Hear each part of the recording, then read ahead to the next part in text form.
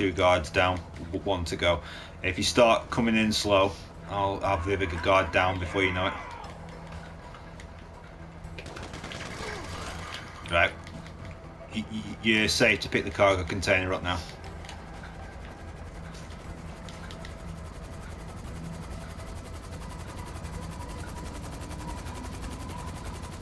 Nice and gently. You got plenty of time. There you go.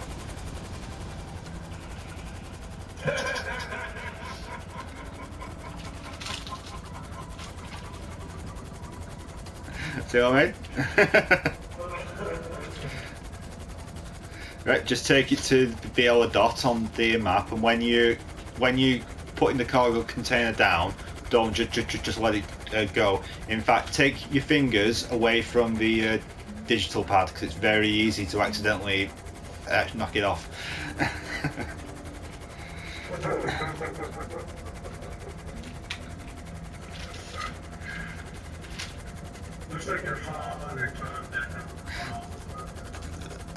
No, uh, on my screen at the moment, I'm I'm having to keep moving, but uh, I'm stood right in the middle and just keep uh, casually adjusting.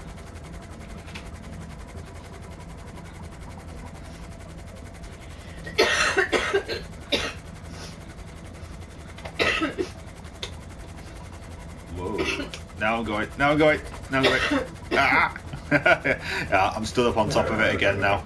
Just about. Just gotta keep uh, moving a little bit in case you're wondering what's happening, Ash, we're doing the air freight one where you have to pick up the cargo container. With a difference, I'm actually stood on top of the cargo container whilst Lex is actually flying through the air.